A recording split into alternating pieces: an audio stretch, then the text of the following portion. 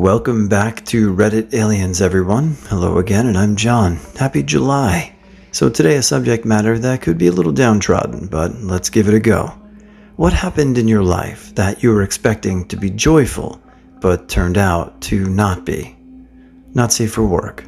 Please remember to like, share, and subscribe. Joy. My college graduation. Got a call on my way to the ceremony from one of my best friend's parents that he passed away from a freak accident at work. I was crying all through the graduation, and everyone just thought they were tears of joy. Miss you, Mikey. Years ago, my ex wife was doing her scuba cert in Cambodia. The dive shop is like, hey, show up at 7 a.m., get on the boat, we'll take you to a beautiful island, you can hang out while your wife gets her cert. I'm like, hell yeah, sounds great. So, we show up at the dock, and the dive shop is like, we usually have a much bigger boat, but it's having an engine issue, so we're gonna take this smaller one. It was still a medium sized boat, and so 12 or so of us got on board and set off for our 45 minute trip to the island. It's a beautiful day, not a cloud in the sky. Great. The first 30 minutes or so are great. It's super chill, boat is going, dive master starts to make coffee, passes around some fruit, it's a dream. And then we hit a big wave, and everyone laughs and is like, whoa, hold on to your coffee. Then another, then a bigger one. Cue three hours of screaming, crying, and puking as our boat is absolutely ravaged by the sea. On at least three occasions, the boat is on its side as we dangle from the railing, and the dive master tells us to prepare to go overboard. I can't even see the sky anymore. There are just huge waves on all sides of us at all times, just battering the boat, drenching everyone. Bags have gone overboard a long time ago. It was the most insane moment of my life. All you can see all around is water, gathering speed and coming to kill you, utterly powerless, reduced to an ant. Three Cambodian dudes were driving the boat, screaming at each other in a language I can't understand. At one point, one of the dudes jumps overboard, and the other two have to navigate to get him back. It's clear that we're in an exceptional moment. Anyway, this goes on for three hours instead of 45 minutes. The island was effing great. It's the most deserted place I've ever been, except for one dude who built a cafe and has a huge garden of weed and an Italian chef who goes out and fishes every day and then feeds everyone at night. I've never seen so many stars. It was truly paradise. The way back, by the way, was placid, not a single wave, like coasting across a swimming pool. 45 minutes. A multi day non stop sailing race down and back the Washington coastline in glorious summer conditions on a 50 foot yacht. We did the event in 50 hours, and it was probably 50 of the worst hours of my life. The first couple were okay. Started off at 9 a.m. on a Friday, very light winds, boats hardly moving. Then at 11 a.m., three hours before forecast, a 30 to 35 knot wind from the direction we were meant to be going rolled in. Instead of 15 to 20 knot wind forecast, what followed was massive waves. This continued for the entire beat to our destination. One by one, everyone was so sick, wet, cold, and exhausted, they went down below to rest, leaving just myself and one other to double hand a 50 foot racing boat in 30 to 35 knots of wind. This continued all through the night. We had massive gear failure at about 3 a.m., which ended with the two of us on deck doing all the work being soaked inside of our wet weather gear. Within five minutes of our arrival at the marker, we are to sail around and then head back to where we started. The wind was just glancing off to nothing, and we drifted for hours in the now scorching heat the day after starting. Then I finally get to rest. After 24 hours straight, physically destroyed, I go down below, strip my gear off, and get into the only available bunk, and it's soaked to the core. Some asshole slept in the bunk in their wet weather gear and had ruined it. Nevertheless, I fall asleep after a while, tucked into the fetal position against the side of the hull. When I awake, I awake with possibly the worst sinus pain of my life. Turns out I'm allergic to mold, and this boat has mold in the hull lining. I spent the last 20 hours of the race with a thumping migraine, worst of my life. This is after only four hours of, I don't even know if you want to call it, sleep. It was so completely traumatic it changed my life. On a side note, it was so bad, everything else in life seemed so much better by comparison. I had the best sleep of my life after that, and work the next day was the easiest day ever. A wedding reception. Two of my army friends were marrying each other, and I thought it would be fun to attend, get drunk, and shoot the shit with some old friends from my training days. Ceremony was beautiful, and after party was fun for about two hours. They aren't religious at all, so nothing was religious about anything. Turns out the bride's mom was a nutjob evangelical, and she wasn't invited for a reason. It was an outdoor reception, very beautiful, lights strung between trees, candles on the tables, just the whole nine yards until the bride's mom showed up drunk and citing religious rhetoric. She called the groom a daughter stealing devil worshiper. Bride didn't want to call the cops at first and asked a bunch of us to escort her away. I happily obliged. She left yelling and cursing. About 15 minutes later, as we're all doing shots, when we heard somebody yell, Effing shit, the tables are on fire. A ton of us scrambled to find a source of water, while others tried to smother it with tablecloths. Took about 15 of us to finally smother it in wet towels and tablecloths. One girl's hair went up in flames when she was trying to help and suffered some light burns to her cheek, ear, and neck. Lo and behold, once the chaos ended, guess whose mom was passed the F out behind a nearby oak tree with a can of lighter fluid. Her mom got herself arrested that night on a felony charge and woke up in a jail cell the next morning begging her daughter, the bride, to bail her out. Her mom served five years in prison for her dumb assery. My first real makeout session, we were laying in the backyard at night on towels in the grass. An hour later, she asks, What's that smell? And we look. We had been rolling in dog shit we didn't see because it was dark outside. That's fun. When my sisters were born, I was so excited to be the older sibling. Instead, my childhood was taken from me. My parents didn't hire a babysitter, they just used me. I've changed more diapers than them, did more late nights and feedings, I was 10 when they were born. Moving my now ex boyfriend across the country. Life tip listen to those doubts. Do not downplay them as having cold feet. Working as a corrections officer, at the academy they fill your head with the idea you're going to be helping people get their life on track and making a difference to help do better. I got a little bit of that, then transferred to a different prison, and it was just chaos. The noise, the stress, the constant rolling around in shit and blood and doing constant first aid on people hell bent on seriously harming themselves and you. My brain went sideways after about four years and hit the bottle pretty hard. I stopped trying to help people. I just got so used to the constant trauma, my whole reality became warped. Being a mother.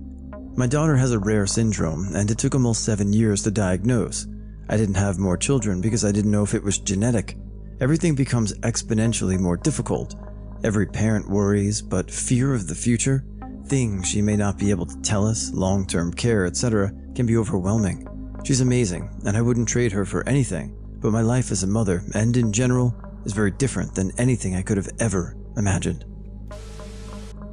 Coming home from the United States Marine Corps, I could tell my wife just didn't want me back home. No one cared that I was finally back. People had all moved on and old friends wouldn't return text. She'd been having an affair for a while. She got all our shit, and I was homeless for over a year trying to regain sanity. Few things spark joy anymore. It's too risky. Move on, brother. Not sure if the OP is actually listening to this, but if he is, I just want him to know, Marine to Marine, it will get better. And better now than later. She wasn't worth it. Move on. Westpac widows are garbage. My grandma took me and my brother camping for my birthday once, as my grandparents were packing me and my brother went on a walk. When we got back, me and him saw my grandma's dog on the road and went to go play with her. It was nice and all until we saw blood. We ended up having to put her down that day. I grew up with that dog, so it was heartbreaking. Every time I go to my grandma's, I always go to the small path behind her yard where her dog is buried. Graduating high school, everyone said that college would be more fun, but it's just stressful and I miss the routine of high school and having my friends close by. I didn't really make good friends in college. I'm transferring to university though for a different degree, so maybe it'll be different this time. Graduating college and finally being done with school, I thought, yes, finally free to live my life. But then I ended up stuck and unhappy at a 9 to 5 job related to no major for a few years then I finally get a job related to my major, only to realize that I'm unhappy there too. It all worked out in the end though, for the most part. Life's hard, man. My 18th birthday.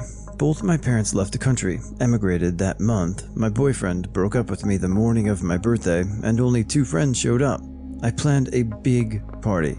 Most didn't even cancel. Only one called to say she wouldn't be coming because the theme was stupid.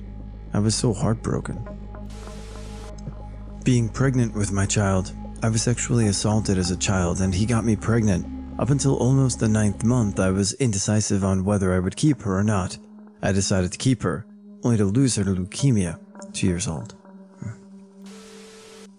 The first time I tried to have a permanent gastric stimulator placed, I had done a trial with a temporary version that helped a lot, so I was excited. Knew it'd be significant surgery recovery, but potentially life changing. Surgeons spent about three hours trying to get it in, but couldn't because the GJ tube I had was sitting right on top of where the leads had to go. I didn't have medical power of attorney set up at the time, boy do I now, so they had to close me up and wake me up to ask me what I wanted to do. Two days later, we do surgeries to remove the GJ, separate my stomach from my abdominal wall, and place a J tube, new spot. Bummer, but now we just have to wait 8 weeks for the thing to heal and we can try again. Except, the very first time a nurse went to use the new J tube, it clogs. We spent the better part of two days with various teams trying to get it clear to no avail. Eventually, my surgeon convinces one IR doc to change it with her. Dangerous that early, but only if we wait until it's been in place for about two weeks. In the meantime, my surgeon made me stay NPO and on NG suction that entire time. Eventually, we get it changed, and by that time, it's been so long since anything had gone through my GI tract that restarting feeds or eatings is a bit rough. That was my longest hospital stay to date. Bright spots were when my mom brought a little sewing machine to the hospital for me so I could sew. And when I eventually did get the stimulator placed eight weeks later, Worth it in the end, but what was supposed to be one surgery turned into like four, and weeks in the hospital no one expected. I don't know if this counts, because it was both joyful and traumatic. My two cousins and I decided to backpack the circumference of Mount St. Helens. We were in late September. As the date approached, it became clear that the weather was not going to be great. One of my cousins was coming in from across the country, however, so we locked into our dates. We could either do it then or call it off completely. We decided no sprinkles were going to stop us. We loaded out our packs and drove up to Climber's Bivouac to head west around the mountain. The first part of our hike was a scramble over jagged rocks, which were slick in the fog. The trail was only marked by piles of stones with ribbons around them, about 50 feet apart. But soon the fog was so thick we could barely see half the distance. About an hour in, one of my cousins decided he was in over his head and he was going to turn back. We were completely taken aback. We'd been planning this for months, but we weren't going to try to force him. The thing is, he was our ride. We knew that there was no cell reception in most places around the mountain, so if he left, we were going to have to 1993 it and make plans on when and where he was going to pick us up. It was about 36 miles around the mountain. We thought 12 miles a day would be nice, conservative approach. I'm in shape. I'll often run 12 miles at a go, piece of cake. I thought we'd redivided our supplies and parted ways. We didn't know it at the time, but my other cousin and I were consigning ourselves to a three day death march. 12 miles in a day is no problem on a sunny day on a flat surface, in shorts and a t shirt. I can run that in under two hours. But on the side of a mountain, wearing our heaviest clothes to combat the cold, the wind, and the endless Pacific Northwest drivel, with a 30 pound pack over extremely rugged terrain, well, that's something entirely different. But now we had this schedule to keep. If we didn't make our rendezvous, there was no telling when or how or even if we'd be able to call for help. The rain never stopped. The weather had been 70s and sunny the week before, and it would be sunny the whole week after. But our three days on the mountain were an almost constant downpour. Even when the rain subsided into a soupy, drizzly fog, Every blade of grass was saturated and deposited its payload onto our feet as we passed. Our painstakingly rain-proofed hiking boots were constantly waterlogged. The temperature stayed in the low 50s during the day and got down toward freezing at night. When we redivided our supplies, the cousin who left wound up with the good tarp, so the rain got into our tent and soaked the feet of our rated to minus 30 degree sleeping bags. No sleeping bag is rated for anything when it's wet. We slept fitfully and marched all day to keep up the pace. We ate on the go and only stopped when we began to lose the light. We rarely saw the mountain through the Pacific Northwest fog, which also obscured the trail. On the morning of the third day, we took a wrong turn and wound up following a tiny path used only by volcanologists studying the caldera up above the snowline in freezing temperatures in our wet clothes, sliding around yawning, icy precipices on what we eventually figured out was a goat path. And as we backtracked, I started to wonder if we were ever coming down from that mountain. We had ditched more than half our food along the way to reduce the weight. We dumped water, there was no way to be thirsty. The frigid humidity was like 150%. Later that morning, my cousin informs me he hyperextended his knee doing a backflip four years ago, never had surgery on it, and now it was killing him. He was limping. My blisters were bleeding. I'll never forget coming down from the snow in the plains of Abraham. We saw the sun and the mountain for the first time in three days. The mountain forms a rain shadow. It's too tall for the rain clouds to get over it and the valley on the eastern side was bathed in sun. We didn't have time to stop, and the wind whipped us. The plain was harsh and beautiful. By about this time, my cousin is getting loopy from the lack of sleep, and he starts shouting, Yes, kill us, you glorious bitch, at the mountain. Then we had to go back up. This was the easiest the trail had been, but it was uphill, and we were both spent.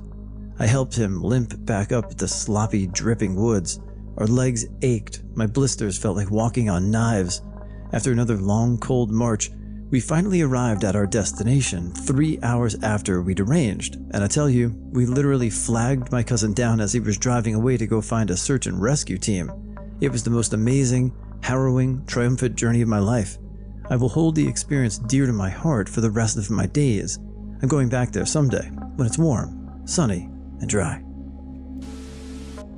My wedding. Not getting married, that's been great, but the actual wedding. We tried so hard to make sure my husband's family could make it, and that they would have fun, and have an open bar, that the bridesmaids didn't have to pay for a dress they would probably never wear again, etc. We ended up so stressed. Everyone had a good time, but we were miserable the day of.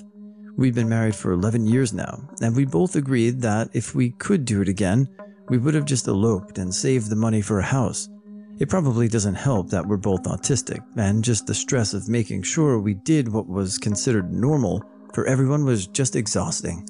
You know, it didn't go the way you hoped or planned, but you finished, and you did it, and that's great. Next time will be more fun.